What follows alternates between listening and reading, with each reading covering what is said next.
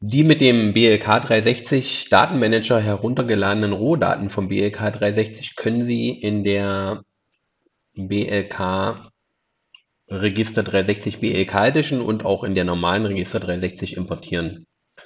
Ähm, Sie haben halt einen Ordner mit den einzelnen BLK-Dateien und um zu sehen, welche Scans sich dahinter verbergen, empfiehlt es sich als erstes die Registerlizenz zu starten.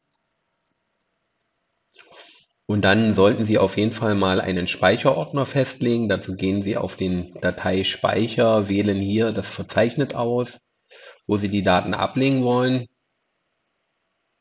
Ich mache jetzt hier mal, ähm, ich lege das mal in den gleichen Ordner rein.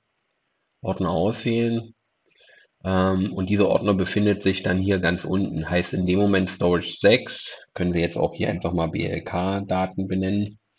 Und dann müssen Sie den noch als Standardordner festlegen. Dann können Sie das Ganze hier schließen.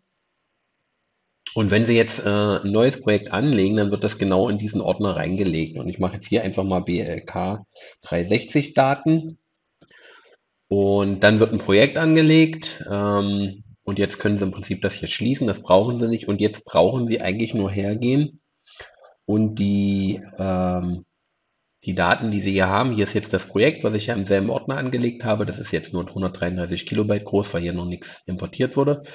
Und jetzt gehe ich halt her und selektiere äh, in der Regel die äh, ganzen Scans und ziehe die per Drag and Drop hier in das Fenster rein. Ähm, und dann sieht man, äh, erscheinen die hier auch direkt in der Liste. Und wenn Sie mit Zielmarken gearbeitet haben, dann können Sie das hier anlassen. In der Regel hat man das nicht, weil man mit Cloud to Cloud arbeitet und dann würde man einfach hier sagen, äh, importieren. Und äh, hier noch ein Hinweis, wenn Sie auf gute Bildqualität achten oder das Maximum rausholen wollen, dann können Sie hier die Qualität anpassen. Ich lasse das jetzt mal hier auf maximal. Das hier mache ich mal raus, weil ist ja kein BLK2Go. Und dann drücken Sie einfach hier auf Importieren. So, und dann importiert er die Daten. Das dauert dann natürlich einen Moment, je nach Rechenleistung. Ich würde jetzt hier das mal abkürzen, indem ich einen Schnitt im Video mache. Und in diesem Fall ist jetzt der Import abgeschlossen und man sieht halt jetzt, hier sind die vier Standorte, die wurden jetzt auch automatisch verknüpft. Darauf würde ich jetzt alles nicht eingehen. Äh, das Entscheidende ist eigentlich, dass Sie hier eine Gruppe haben und Sie sehen hier die Scan-Positionen und Sie können halt jetzt hier über die Bilder gehen und sehen dann die einzelnen Standorte. Und darüber könnte man das jetzt zuordnen. Also als Beispiel, sagen wir mal, die ersten beiden gehören zu einem Projekt und die anderen beiden gehören zu einem Projekt, dann könnten Sie hierher gehen und könnten sagen, also die Übersichtskarte 1 wäre Projekt 01 und dann könnten Sie eine weitere Übersichtskarte anlegen und könnten sagen, ich bin Projekt 2, Projekt 02 und dann können Sie die hier natürlich per Drag and Drop einfach in dieses Projekt reinziehen und dann hätten Sie halt hier die Strukturierung.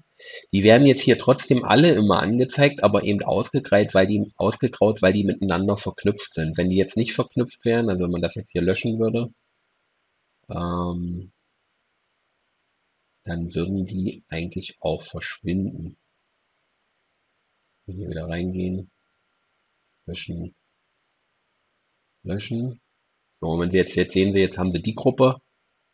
Und wenn Sie auf die Gruppe gehen, dann sehen Sie nur die beiden.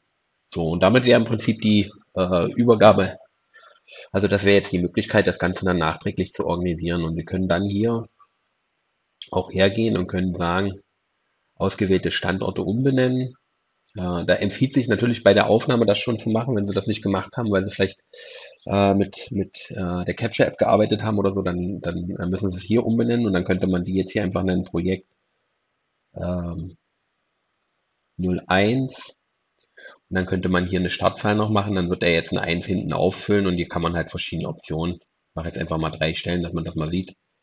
Ja, und dann hat er jetzt hier 01, Projekt 1 und dann 1 und 2. Und so könnte man die ganzen Sachen dann umbenennen. Ja, sollten Sie weitere Fragen haben, dann wenden Sie sich einfach an support@scanner2go.de und wir werden versuchen, Ihnen auch dafür dann eine entsprechende Lösung anzubieten. Vielen Dank, empfehlen Sie uns weiter, damit wir auch weiter diese Tutorials machen können und in diesem Sinne bis bald.